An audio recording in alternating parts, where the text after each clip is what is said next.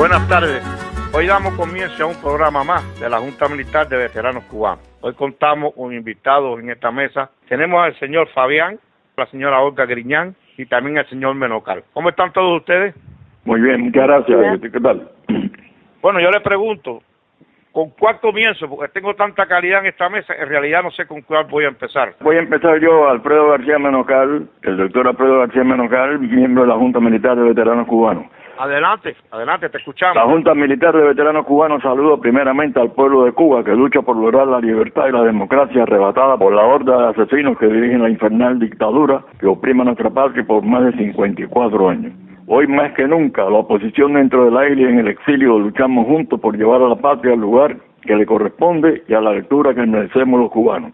Hoy celebramos el Día del Preso Político Cubano, recordamos a todo el martirologio, a todos los fusilamientos que hubieron en Cuba por miles desde el año 59 eh, y también a todos los que se inmolaron en las terribles prisiones castrocomunistas, mujeres y hombres que demostraron un valor extraordinario frente a esas hordas asesinas de los hermanos Castro. Para mí es un gran placer estar aquí con ustedes y yo creo que es el momento ideal para enviarle un mensaje a las Fuerzas Armadas de Cuba para que en lugar de oprimir al pueblo cubano, se unan a los que luchan y se oponen al mismo para luchar la libertad definitiva que merecemos todos frente a esa infernal dictadura. Somos muchos los exiliados en Estados Unidos que mantenemos nuestra rebeldía y seguimos luchando hasta que la libertad de Cuba se consuma, ¿verdad? Se realice.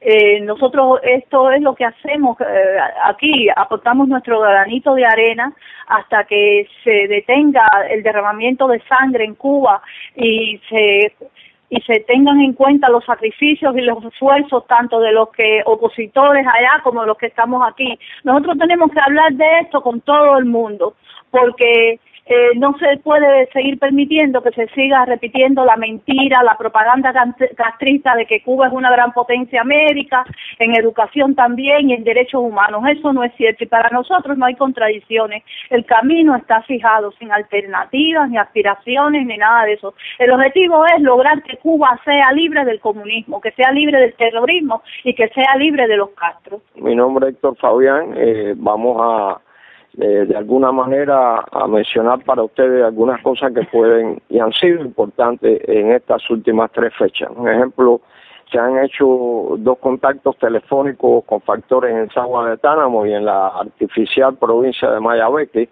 donde estas personas, eh, estas realidades en cuanto a la posición, están eh, prácticamente solicitando reiteradamente de que estemos eh, muy cerca de la situación de Venezuela. Ellos, por separado, eh, han determinado, creen, no hay lugar a dudas en ello, de que eh, la situación de Venezuela y Cuba no es en estos momentos Cuba la que puede resolver el, el problema de Venezuela, sino es Venezuela la que puede de alguna manera llegar a conducir al éxito también de la oposición dentro de Cuba con una de las opciones que quedan, que es la toma de calle, no hay lugar a duda, y para esa se está trabajando en esa eh, firmeza y no tenemos otras opciones, simplemente la opción de tomar las calles, de la desobediencia civil, y como señalaba nuestro hermano eh, eh, Pupi García, pues simplemente, y no hablo de Pupi García, el, famoso boxeador que fue preso político, sino el doctor García Menocal que nos acompaña,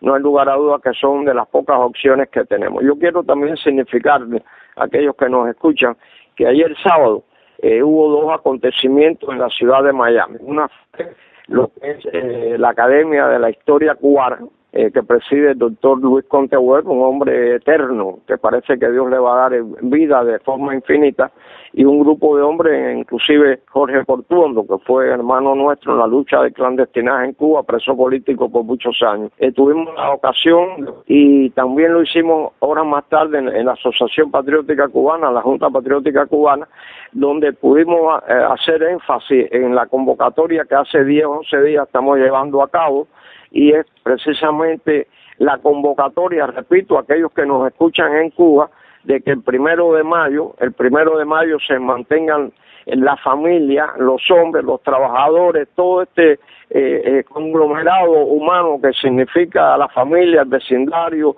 el, trabajador, el compañero de labor, etcétera, que se queden dentro de sus hogares, que no salgan a la pachanga anual de la tiranía castrocomunista, que en esta ocasión la van a tratar de usar para solidificar también el proceso bolivariano llamado mal bolivariano, puesto que simplemente es la concretación de lo que ha sido lamentablemente el castrismo y el social castrismo, que en definitiva todo conduce a significar que es una porquería en todos y cada uno de, de los absurdos de la vida. Pero bueno, lo que hacemos es que allí se pudo hacer esa exposición de forma amplia y también lo estamos haciendo a través de la radio.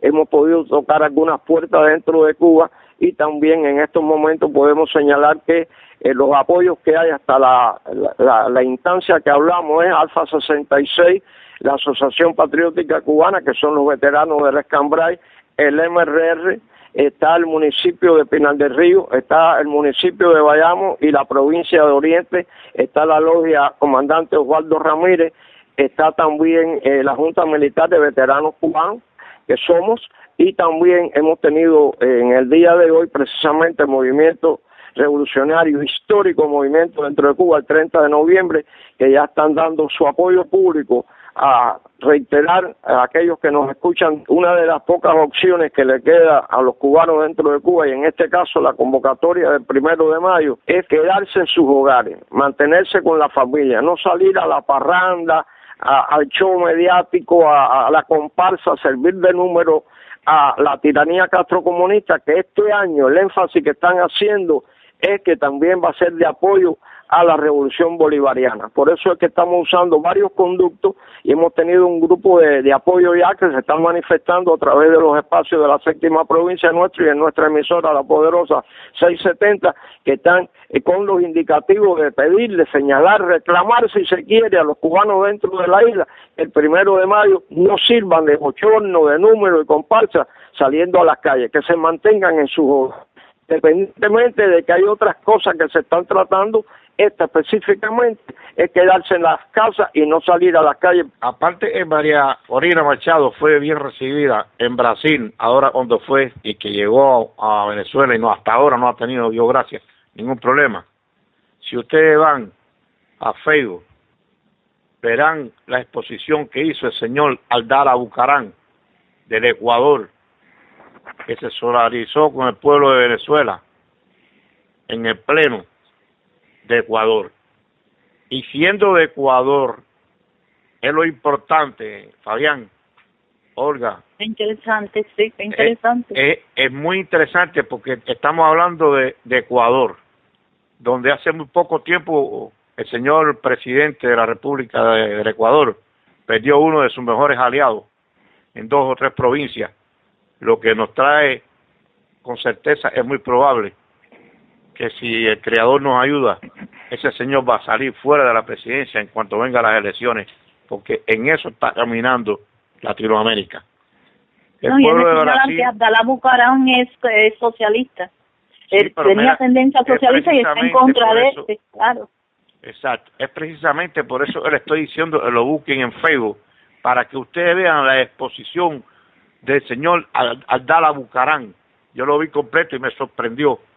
E inclusive en sus palabras manifestó que hay muchas personas que toman a los ídolos para su conveniencia y mencionó al señor del África, Nelson Mandela, en las palabras que él dijo. Y dice, usan a Mandela para lo que le conviene, pero después su pueblo hace lo contrario avasallan, maltratan y matan a su juventud. Y acusó al gobierno de Ecuador de callar y de ser un infame en contra de los muchachos jóvenes que están luchando en Venezuela y por cuales ellos no han presentado hasta ahora un reclamo al señor Maduro. Y también dijo, pero claramente, el señor Maduro es uno de los dictadores más malos que ha salido en las últimas épocas. Eso a mí me sorprendió y hay que escucharlo. Yo le, les aconsejo a todos los a todos los cubanos dentro y fuera de Cuba y en el exilio donde estén que busquen ese ese eso está en Facebook. Aparte yo lo tengo puesto en mi Facebook en mi, en, mi página para que lo escuchen, porque realmente a mí me sorprendió cómo un socialista pudo hablar de esa forma, lo que quiere decir que las estructuras de poder corruptas que tenía Maduro, aún regalando todo el petróleo que le ha regalado a todas esas naciones, la piedra se está desbaratando ya, porque los pueblos latinoamericanos y los hombres de buena voluntad se están dando de cuenta ya que todo es una mentira y una falsa, que usan a los héroes de sus países para cometer los crímenes y los errores. Inclusive este señor en lo último que dijo fue las palabras que ellos anuncian que Simón Bolívar dijo maldito aquel que apuntase contra su propio pueblo y que ellos lo están haciendo y que usan a Simón Bolívar siempre en todas las actividades y sin embargo después va y arremete contra la población y hacen cosas en contra de los principios de Simón Bolívar. Bueno, nosotros los cubanos estamos acostumbrados a eso, porque nosotros sabemos, a Martí también lo cogió para eso. Nosotros todos los cubanos sabemos, hace 55 años se está hablando de José Martí, le han echado una pila de, de responsabilidad a José Martí, que si Martí saliera, no sé ni lo que diría. Pero ya nosotros sabemos cómo trabajan ellos. Pero para los países latinoamericanos, que han tenido hasta ahora una venda de, de creyéndose de que de que la dictadura cubana era una cosa muy grande, muy sensacional, y aquellos que de una forma u otra se creyeron que Chávez era un gran hombre, una cosa sensacional, y aquellos hasta el otro, hasta el otro día también pensaron que Maduro era un hombre grande, que quería mucho a Chávez, que le daba la vida por Chávez, y hizo hasta una escena de novela llorando y todo ahí en público, y lo ha puesto en cena para que todo el mundo lo vea, y lo ha puesto como santo, y se le ha aparecido como hasta pajarito. Para toda esa gente latinoamericana, todas esas personas cultas que tengan un poco de escolaridad y puedan tener la forma de llegar a ese programa, es súper importantísimo un hombre de izquierda hable todas esas palabras en, el pleno del Senado ecuatoriano. Yo quiero que lo vean, yo hago hincapié porque lo vean porque está muy importante y eso ayuda mucho a la libertad de Venezuela. Y como dice el señor Fabián, sí, la libertad de Venezuela también ayuda a la libertad de Cuba, por ahí va caminando todo, es un efecto dominó que todo se va a ir cayendo. Sí, lo todo se va cayendo poco a poco. Un efecto dominó, yo espero, eh, gracias al creador, con la caída de, Maduro y toda esa pila de corruptos y de, sinvergüenza que están ahí haciendo todas esas variedades en Venezuela, también todo eso trae como consecuencia que muchos países eliminen a todos esos tipos de corruptos que están gobernando hoy y que lo que tienen es un, es un club de gobernantes para, para vacilar, tomar café, tomar ron, cerveza y vivir bien sin enterarse, si que no le interesa a su pueblo, lo que le interesa a ellos es solamente vivir bien. Por eso lo, que sucede, que lo, vea. lo que sucede también, Despino, es que en Ecuador y Chile históricamente ha habido siempre una izquierda muy parecida a la izquierda de Europa, que es una izquierda con algún sentido de humanismo y como es natural, eh, vino la otra izquierda que irrumpe desde el año 59, que es la castrista, que acaba realmente con la idea sublime de muchos hombres de nuestra América, de Puerto Rico, de Santo Domingo, de Cuba, en épocas nuestras, eh, eh los años anteriores a Castro, que era el romanticismo de la izquierda democrática. Eso se acabó con Castro, pero quedan algunos pensamientos, muy pocos, pero quedan en el sur de, de nuestra América, India, quedan pensamientos muy similares a esa el socialismo que a veces impera en algunas latitudes de Europa. Adiós, gracias. Adiós, gracias. Por lo menos hay una franja por esa parte del mundo. Tú sabes que, tú sabes que Europa tiene muchos países socialistas. Verdaderamente la palabra socialista no es mala. Porque aquí a veces también yo he visto personas como que acusan al señor Obama por socialista. La palabra socialista no quiere decir malo. Malo es el hombre está en el gobierno y usa la palabra del socialismo para hacer daño y matar a su gente. Ningún, ningún nombre de ningún sistema es malo. Malo es, es la persona que hace daño. Porque Fidel Castro, si tú te pones a analizar, Fidel Castro no ha sido nada y ha sido todo. Ha sido comunista y no ha sido comunista. Ha sido amigo de bueno y el del malo y no ha sido nada. Pero lleva 55 años en ese gobierno gobernando y haciendo atrocidades. En nombre de todas esas leyendas de, buena voluntad de todas esas personas buenas, fue eliminando a Camilo, y después eliminó a Che, eliminó a todo el mundo y después lo hizo héroe. Porque ese es el trabajo de ellos. Y después uniéndose a todas esas personalidades que le han dado fama de buena voluntad. En definitiva, todos han sido unos dictadores y todos han destruido sus naciones. Y Oye, yo, quería, cuando un dictador se cae. Cuando el dictador se cae es cuando se descubre toda la riqueza que tienen mientras sus pueblos están pasando tanta hambre y tanta necesidad. Yo quería agregar algo más. Hoy en la reunión que tuvimos del Día del Preso Político Cubano, frente a la Casa del Preso, eh, hizo uso de la palabra que fue presidente de Federecámaras en Venezuela. Y lo primero que dijo, que ellos se sentían, pero muy oprimidos por la presencia castrista en Venezuela, que son los que están dándole golpes y matando a los muchachos que salen a, a manifestarse, hombres y mujeres, muchachos de universidades, y que son los cubanos dirigidos por el Castro comunismo, los que tienen ocupado el poder en Venezuela, que ellos lamentan profundamente no haber escuchado, a no, no, no, habernos escuchado a nosotros cuando nosotros decíamos lo que iba a pasar en Venezuela y sin embargo no nos escucharon y están pasando por lo mismo que está pasando desgraciadamente nuestro pueblo en Cuba. Nuestro mensaje para el pueblo venezolano es la unidad del exilio, la Junta Militar de Veteranos Cubanos está a su lado y a los militares cubanos, como siempre decimos, y a los que luchan dentro de, dentro de Cuba por la libertad, que juntos haremos de Cuba la patria que estaba a la altura de América en los años 50.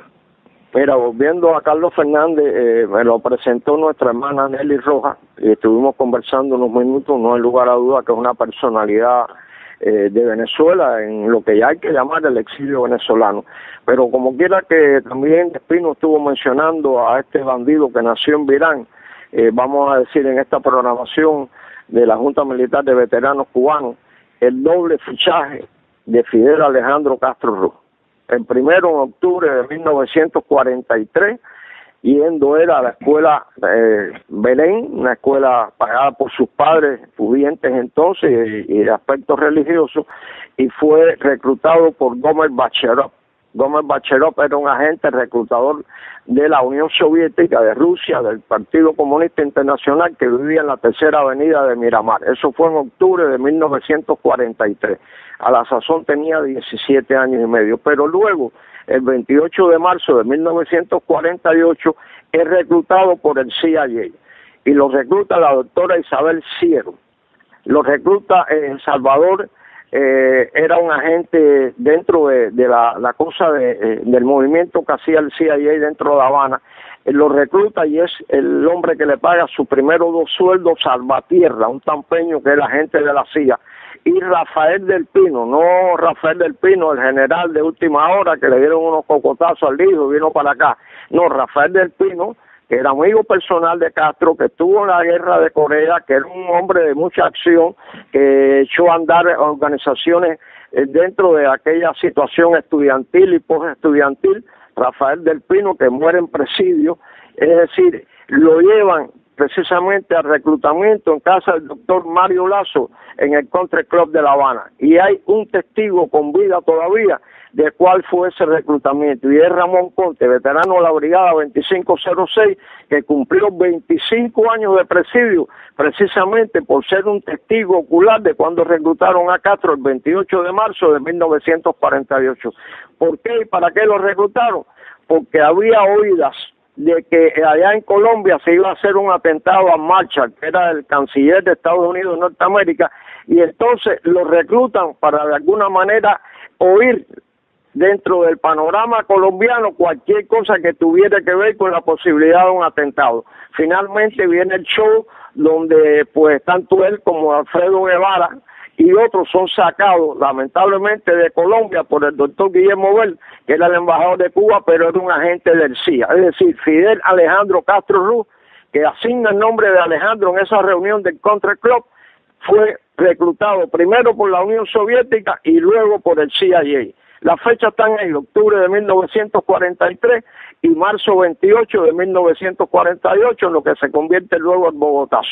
Es parte de la historia que los cubanos y los no cubanos deben entender. Este hombre lo único que ha sido en su vida es Fidel Castro Ruz, más nada. Lo demás ha sido la montura adecuada en el momento oportuno con el caballo que estaba al acceso de, sus posibilidades. Esa es la realidad. Ah, eso, eso lo tenemos ya. Yo, yo pienso, él no tiene, él no tiene, para mí, el señor Fidel Castro nunca ha tenido principios políticos de ningún tipo. Un hombre que se ha vendido a cualquiera por ser dictador porque todos los dictadores son iguales, pero este es el peor de todos. Este ha cogido un pedazo de todos los malos, o un pedazo de Hitler, o un pedazo de este, o un pedazo del otro pero al final es para hacerse daño, pero para él mantenerse en el poder. Eso, bien. eso no, este señor es una desgracia que le ha caído al país de Cuba, terrible, es un cáncer terrible, que ojalá y el creador pues acabe de eliminarlo y llevárselo al infierno ya para, para salir de, de todo ese, de todo eso que está pasando la patria cubana. Yo quería preguntarle a la señora Olga,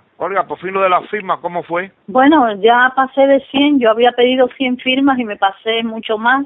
Las he dejado ahí hasta ver si coge un número más alto para mandárselas a Marcos Rubio, a Ileana Ross y a Mario Díaz Valar.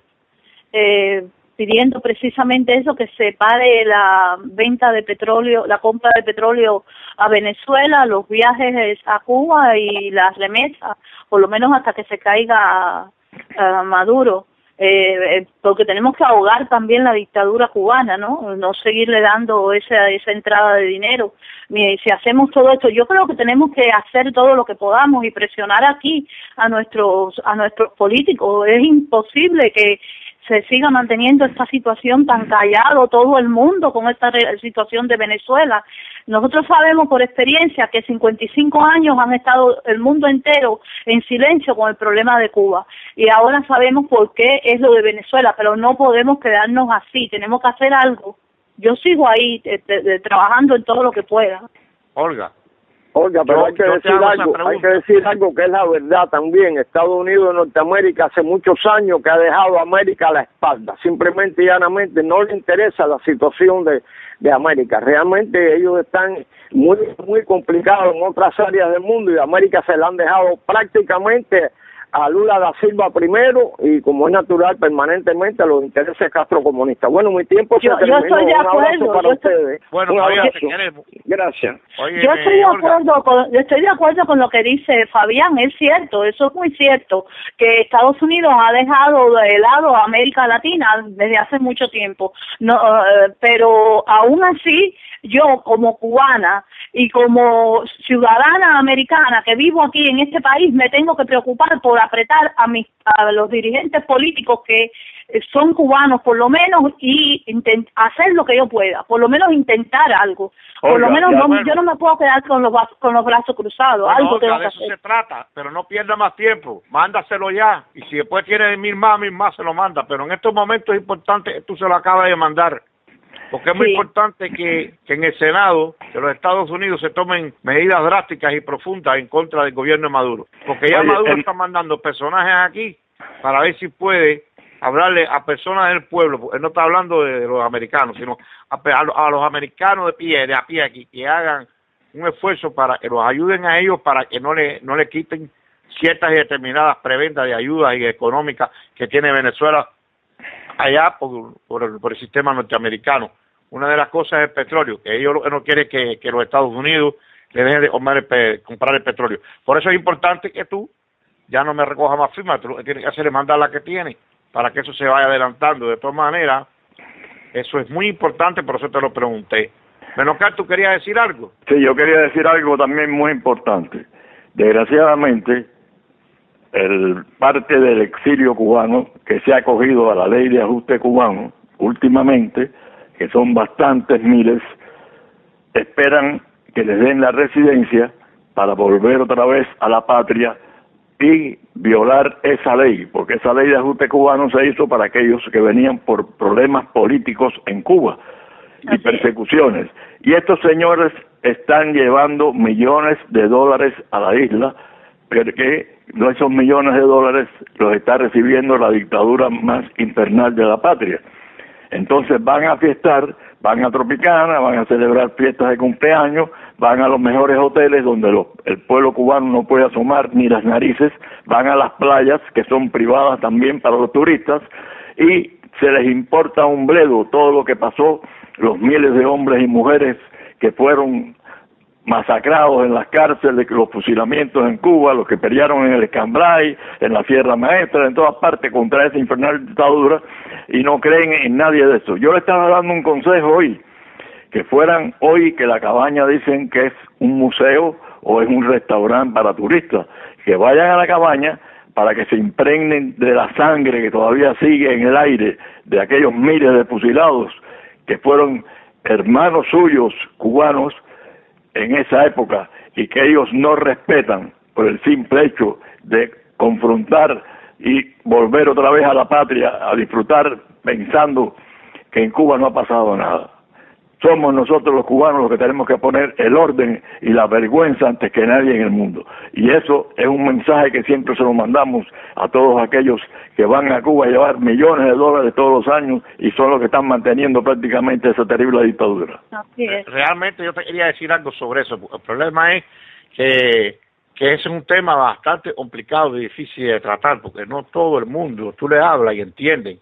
Entonces, te protestan y te, y te insultan y te dicen cosas que no son Bueno, permítame decir algo. Hasta el año 1979, el tirano no permitió regresar a los que se iban de Cuba. y los, eh, las llamadas eran de tres minutos. Las cartas las rompían. Nadie se murió en Cuba por eso. Y los que se iban eran hasta rechazados por muchos familiares. Cuando el asesino necesitó dólares ya en el año 1979, entonces permitió que los cubanos nos visitaran. ¿Cómo? Humillándolos, haciendo pagarles, haciéndoles pagar cuatro veces lo que pagaba otro extranjero para el hotel, para lo que, lo que fuera.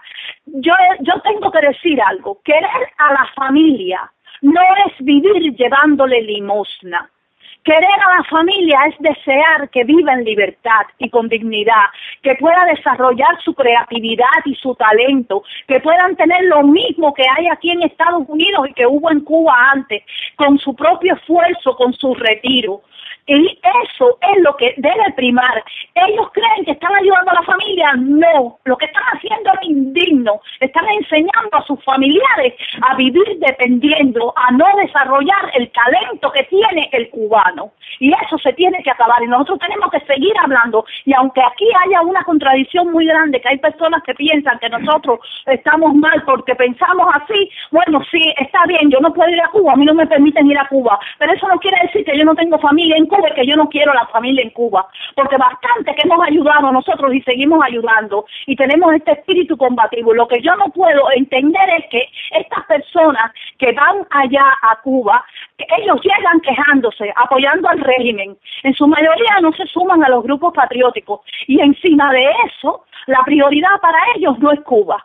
La prioridad es una ambición material.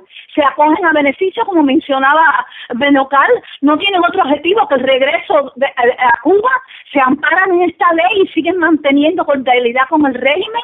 Y, además de eso, de, eh, eh, ellos, además de eso, los hay que vienen a hacer fraudes aquí a Estados Unidos. Nosotros no podemos seguir, nos están desmoralizando si los militares, de, si, si, los millares de, de, cubanos que llegan aquí a, a, pedir asilo eh, llegaran con una disposición diferente de sumarse a nosotros, de enfrentarse a ese sistema, las cosas hubieran cambiado. Pero claro, el exilio ha cambiado porque ellos lo que están es apoyando ese sistema. Ellos sencillamente, ellos dicen que no, que, que no se puede derrocar, que no se puede hacer nada, que, que como si fuera, Castro fuera invencible y que es una locura rebelarse. No, ellos lo que son unos cobardes cobardes y ya tenemos que decirlo. Nosotros no podemos seguir permitiendo que los que vienen aquí, porque nosotros ya estamos constituyendo una minoría, porque ya nos estamos muriendo ya por la edad, nosotros no podemos seguir permitiendo que sigan desmoralizándolo. Nosotros tenemos que hacer algo también con estos que vienen aquí y tenemos que esforzarnos nosotros y pararle la parada a ellos, porque ellos ya nos están haciendo demasiado daño, al pueblo de Cuba y a los que estamos aquí. Yo creo, que me, me, emociona. Se educan. Y, la, y, y, y, y, todas las Pero que tú vas a educar al pueblo de Cuba, perdóname que tú vas a educar al pueblo de Cuba, si el pueblo de Cuba está enseñado a vivir así humillado. déjame explicarte, déjame ponerte mi, esto quería decir. Déjame explicarte. El señor Obama tiene una ley que luego de buscar apretar al régimen de Cuba, lo liberó más económicamente. Entonces, si tú tienes un, un amigo, supuestamente tu amigo es norteamericano, y hace esa cosa, no le puedes exigir a los luchadores. Es como, por, ejemplo, si tú vas a la guerra y tus jefes son tus traidores, ¿de qué forma tú vas a pelear? Ese es el problema que tiene Cuba. Los Estados Unidos, creyéndose que siendo blando con el gobierno cubano y entregándole recursos económicos por medio de las familias que van allá, aumentándole la cantidad de dinero que pueden llevar para ver a sus familiares, iban a conquistar la libertad de Cuba o el derrocamiento de Cuba. Y lo que están es educando a ese pueblo a vivir de los familiares del exterior. Entonces, tú me perdonas, tú me perdonas, yo no lo veo bien planificado, bien hecho, una estructura bien hecha. Lo que hace es que ya no les interesa a la gente se vayan, porque son manos de obra para el exterior, para ellos después recibir, recibir dinero que supuestamente todas las personas de otros países cuando vienen a trabajar aquí le mandan dinero a sus familiares. Claro, se están aprovechando, es... cierto, se están aprovechando, está bien, se están aprovechando estos que vienen ahora para sostener el sistema. Y el sistema se ha aprovechado de la situación que Estados Unidos le permite este este intercambio y este eh, este relajo de viajes, de turismo y de todo esto y dándole eh, beneficios aquí a, a, personas mayores, dejan salir a las personas mayores de Cuba para que vengan aquí a vivir de Estados Unidos, de los contribuyentes y llevarle el dinero a ellos. Está bien, perfecto. Ahora, yo voy a lo siguiente. Los cubanos hace 55 años que no ven ropa de marca. Y saben la ropa de marca mejor que tú y que yo que vivimos en Estados Unidos. Y no la conocen la ropa de marca, pero quieren la ropa de marca. Porque los cubanos, que, perdóname, los cubanos no conocen la libertad hace 55 años. ¿Por qué no quieren la libertad del mismo modo que quieren la ropa de marca? Porque falta decoro, falta dignidad. Y eso es lo que tenemos que enseñarles. Eso es lo que tenemos que enseñarle, independientemente de lo que haga Obama, de lo que haga el presidente. Nosotros aquí como cubanos en el exilio tenemos que trabajar no solamente por derrocar a, Castro y el comunismo y el terrorismo en Cuba, tenemos que, trabajar contra estos cubanos que vienen aquí a hacernos daño y a desmoralizarnos y a desgraciarse su vida, porque ellos están, están desgraciando de la vida a todos los que se quedan en Cuba. Olga, no te llames a engaño. Oye lo que te voy a decir. Oye bien lo que te voy a decir. el gobierno de Cuba tiene, un, tiene en Cuba un gobierno férreo tan profundo, tan grande, que no es tan fácil como tú te piensas que el pueblo lo quitar de arriba. Es cierto, tampoco para los venezolanos, y mira lo que están haciendo los jóvenes, que están poniendo la vida. En Cuba, jamás. en Venezuela hasta el otro día hubo instituciones que se está tratando de quitar y poner una dictadura a los tipos cubanos distintas, pero es otra es otro tipo de, de, de, función, no lo puedes poner igual. El problema de Cuba es distinto. Y si el Estado, si el, si el gobierno de Estados Unidos, luego de cerrar al país, lo que hace negocio con esa dictadura, le es muy, muy difícil al pueblo poder lograr nada. Y nosotros tenemos que entender a todas esas personas que están allá. Espino, entonces tenemos que hacer algo. Espino, perdóname, tenemos que idear algo. Nosotros tenemos que idear algo, sentarnos y idear algo. Espérate, espérate, mira. Si nosotros, si nosotros viésemos que los Estados Unidos cerraran totalmente toda la entrada de divisas por un par de años a Cuba, nosotros hubiéramos seguido la libertad. Porque mucha gente se irían del aire, porque dirían, no, no, no pueden aguantar eso. Pero todo el mundo es como todo. Se están afianzando en el dinero que mandan los familiares y de eso van viviendo. Desgraciadamente, desgraciadamente, a lo mejor Obama lo hizo con buena fe. No podemos decir que, lo haya hecho con mala fe. A lo mejor buscó un camino para ver de qué forma puede liberar a Cuba así de esa manera. Pero en realidad no, no, no ha dado el traste. Pero es que ahí es palo porque boga y palo porque no boga. Porque si, si cuando estaba el presidente Bush, entonces era malo porque no habría.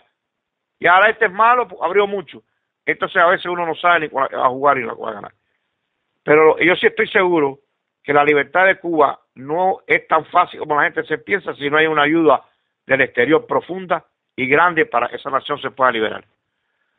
Y los países latinoamericanos tienen que ayudar en eso. Porque la última palabra la tienen los militares dentro de 10 o 15 días más una ayuda y, una, y unas declaraciones de los países latinoamericanos distintos en, cómo se estaba planteando la problemática de Venezuela. Los espero distintos porque las cosas se están viendo y los países ya se están dando cuenta que este señor, porque estaba comprando a toda la gente con el petróleo, lo que tiene desprestigiado a todos los países latinoamericanos con el petróleo.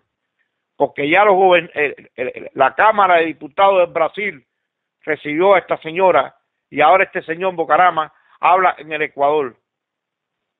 Y hay, y hay gente que ya no quiere ni salir a la palestra pública a hablar nada de ese tema porque sabe que se lo van a comer vivo, porque saben que han metido la pata con apoyar y no haber dejado a Corina entrar a la OEA. Ya Insulsa en estos momentos es el que le está tirando la defensa más bien a Corina Machado. Él mismo está diciendo es un error meterla preso porque ella tenía derecho a hacer todas las cosas que ha hecho. Lo que quiere decir que ya se están dando de cuenta en toda la barbarie que está haciendo Maduro allí, Cabello, que fíjate que Cabello se habla muy poco de él, porque de Cabello se habla muy poco. Pero ya se están dando cuenta que verdaderamente han cometido un grave error. Muchos países eso han cometido un grave error por haber eh, afianzado una cosa que se veía venir, que no que no había una democracia ahí, que todo era una democracia ficticia y por atrás metiendo la dictadura. Así que yo, yo en ese sentido de, los viajes a Cuba es muy, es muy elástico porque yo mismo en el 86 cuando se murió mi mamá yo no podía ir a Cuba, no podía ir a Cuba, no podía entrar, porque la gente que vinieron en el 80 no podía entrar. Entonces a mí ya me da lo mismo ir o no ir, a mí eso no me interesa, yo lo que quiero es la libertad de Cuba, es lo que me interesa, que todo el mundo sea libre. Y cuando yo puedo entrar a mi país sin tener sacar pasaporte, ni permiso, ni nada, como un cubano cualquiera, y yo entro a mi país, yo voy a Cuba, pero mi yo tengo que sacar un permiso para entrar a Cuba, yo no voy a Cuba, porque yo no tengo que pedir permiso para entrar a mi casa. Pero si cuando él prohibió viajar a Cuba, tú te ibas de Cuba y no podías regresar más nunca, nadie se murió, caballero. Eh, Acaben ya con ese cuento. Acaben ya con ese cuento. Todos queremos a nuestros familiares, a nuestros seres queridos. Todos, todos los queremos y todos tenemos a alguien allí todavía. Aunque sea una tumba, tenemos allí. Sencillamente, déjense del cuento este. El que tiene familiares, que lo tiene que visitar, que no se vaya de Cuba, que se quede en Cuba ya está bueno, ya no vamos a seguir dándole la vuelta a esto. Es que el proceso de Cuba cambió de un, de un, de un. No, hombre, no, la gente, la gente no tiene decoro, no tiene dignidad, todos somos dolientes igual de los de antes y los de ahora, pero hay que tener decoro. Sí, bueno, yo hablo así. Bueno, tú me perdonas, tú me perdonas, yo hablo así. Nosotros tenemos que hacer algo, nosotros no podemos seguir permitiendo que ellos nos sigan desmoralizando. Nosotros, mira, nosotros tenemos Eso es parte de la libertad de Cuba, eso es parte. bueno, también tenemos, tenemos que pensar que nosotros somos de una época del 59 para acá con una ideología distinta, un pensamiento distinto y una forma de ver la patria de Cuba distinta. Tú estás hablando ahora de una pila de muchachos jóvenes que no tuvieron nada que ni con Fidel, ni con revolución, ni con marxismo, ni con nada, y que no tienen nada que ver con eso, y ni saben, ni siquiera conocen el sistema democrático, han vivido en dictadura todos los años. Yo estoy hablando de una partida de viejos que tienen hasta más edad que yo, que llegan aquí, a, disfrutar de los beneficios de este país, a llevarle el dinero allá a Castro. Eh, solo de, eso es de lo que estoy hablando. Ah, pero la culpa, la culpa la tiene el gobierno de los Estados Unidos por permitir eso, porque es, eh, el Estados Unidos debería tener una ley donde diga esas personas pueden ir un viaje a ver a su familia al año con una cantidad X de dinero, pero no, no ir 15, 16, 17 veces a ir a buscar muchachitas jovencitas allá a Cuba. Eso se sabe. Para colmo. Me, imagino Obama trató de hacer algo el pobre para ver si, si, si de una forma o la otra resolvía, pero pero es que no se dan cuenta que la dictadura de Cuba es un cáncer muy profundo, muy dañino y muy bien organizado. No es tan fácil como la gente se lo piensa. Y después la mano larga que tiene, porque el problema que pasa en Latinoamérica es eso mismo. Es que Fidel Castro se ha gastado mucho dinero con una pila de gobierno en el país, de esos países, entregándole dinero para campañas políticas y haciéndolo desde la base hasta que llegaron a ser presidente. No vayas a pensar que muchos presidentes. Eso es cierto, eso es cierto, que todo el dinero que que dedica al pueblo es simplemente en propaganda. que no hace nada para bien del pueblo. El, se roba la mayor parte del dinero y el que usa para el pueblo es para propaganda al mundo entero perfecto, pero no podemos seguir pensando que él es invencible. Y no podemos seguir pensando que por eso no vamos a alcanzar la victoria. Y no podemos seguir pensando que a los que llegan aquí no podemos decirles y, hacerles sentir eh, y, entender qué derecho tienes tú a, viajar y ser feliz. Y yo no, y que a mí no me dejen viajar. Y que a mí no me dejen ni tener una conversación con mi padre de una hora antes de morirse. Ok, esto crees que estos tres son los únicos. No, señora, aquí todos somos cubanos todos somos cubanos. Entonces, no puede ser, no puede ser así, que nada más que de un lado y del otro lado no se acabó. Nosotros tenemos que combatir esto de alguna manera, tenemos que idear algo, y que sentarnos y pensar algo que tenemos que hacer contra esta problemática del exilio que nos daña a ellos y a nosotros, a todos. Nos han desmoralizado, por eso se burlan de nosotros con razón la gente de otros países que no reciben el derecho a la residencia aquí. Tienen toda la razón con sentir envidia, porque nos estamos desmoralizando, han desmoralizado a los cubanos patriotas, a los cubanos que han dado su vida, a los que han muerto en el mar tratando de llegar aquí, han desmoralizado y lo siguen desmoralizando. Y no podemos, tenemos que hacer algo. No podemos seguir justificando la situación, ni tampoco Insulsa. Insulsa es un descarado, Insulsa hizo lo que hizo porque le dio la gana de hacerlo, porque está a favor de Maduro y de Fidel Castro. Y ahora no es porque se dio cuenta, no se dio cuenta de nada, no le queda más remedio que decir algo a favor de, de, María Corina. Eso es todo. Gracias, Olga. Tú sabes, eh, las palabras tuyas están muy buenas siempre. Y contigo siempre el programa se hace bueno. Ahora, en estos momentos, déjame un chance para pasar al señor Roberto Ortega, jefe de la Junta Militar, para que nos mande el mensaje que siempre le manda a las Fuerzas Armadas. Roberto, por favor. Ok, muchas gracias. A los miembros de las Fuerzas Armadas cubanas que cumplen con el servicio de guardia en todas las unidades del país. Debemos comenzar nuestro mensaje de hoy solidarizándonos con lo expresado por el líder opositor venezolano, Leopoldo López, cuando dirigiéndose a las Fuerzas Armadas de su país le pidió no ponerse del lado oscuro de la historia y luchar por el respeto a la constitución de su país. Nosotros los militares de profesión tenemos que tener bien claro, no solo en Venezuela, sino también en Cuba, que los regímenes totalitarios y dictatoriales como el de Maduro y Castro necesitan del apoyo de las Fuerzas Armadas para perpetuarse en el poder de nuestras naciones y enfrentar el descontento y las manifestaciones populares que crecen día a día en nuestras respectivas naciones. Para no, estar del lado oscuro de la historia es necesario no solamente no combatir las manifestaciones populares y actuar contra el pueblo con las armas, sino además no mantener un silencio cómplice ante las acciones de las fuerzas represivas utilizadas por el gobierno de forma de unidades paramilitares y de la policía política. La forma más clara de romper con el silencio es provocando alteraciones en las unidades militares que rompan con la disciplina y la disposición combativa de las mismas. En apoyo a las manifestaciones populares en una determinada región o población, debemos lograr interferir con las comunicaciones, sabotear la técnica de combate y de transporte, alterar las reservas de combustible, de víveres y de todo tipo, en particular en los almacenes de armamento y municiones. Los soldados del servicio militar obligatorio deben ausentarse de las unidades y manifestar su oposición política al lado del pueblo, participando en las manifestaciones que se organicen. Es necesario hacerle sentir al régimen que no solo es la población civil la que está dispuesta a salir a las calles y manifestar su oposición a la tiranía, sino que la esfera militar no puede contar con tranquilidad ni apoyo.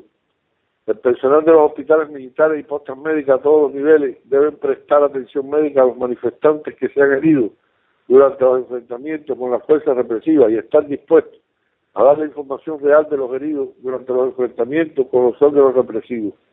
Esto tiene un gran valor en el caso específico del Hospital Carlos J. Fina de Marianao, a donde son llevados los principales dirigentes de la oposición cuando requieren de asistencia médica, y en el caso de los hospitales de las prisiones, en particular la del Combinado del Este. Militares, tengan en cuenta que sus actividades de oposición al régimen, aunque difíciles de llevar a cabo, son factibles y además necesarias, y deben estar envueltas en la clandestinidad necesaria para lograr los objetivos propuestos. La Junta Militar de Veteranos Cubanos te apoyará siempre, tanto dentro como fuera de Cuba y en cualquier condición que sea, en prisión o si tienes que huir al exilio en los Estados Unidos, donde tendrás el apoyo y la acogida que mereces por tu condición de combatiente por la libertad de Cuba y no será tu origen militar causa de discriminación de algún tipo. Apoyaremos con lo necesario también a tu familia oficiales del Ministerio de las Fuerzas Armadas y su Estado Mayor. Su actual situación económica y social los hace diferentes al resto de la población cubana y no pasan sus mismas necesidades. Para eso la dirección del gobierno les asigna una cantidad adicional de comida y acceso a útiles del hogar y otros bienes como prebenda para neutralizarlos y evitar que piensen como el resto del pueblo.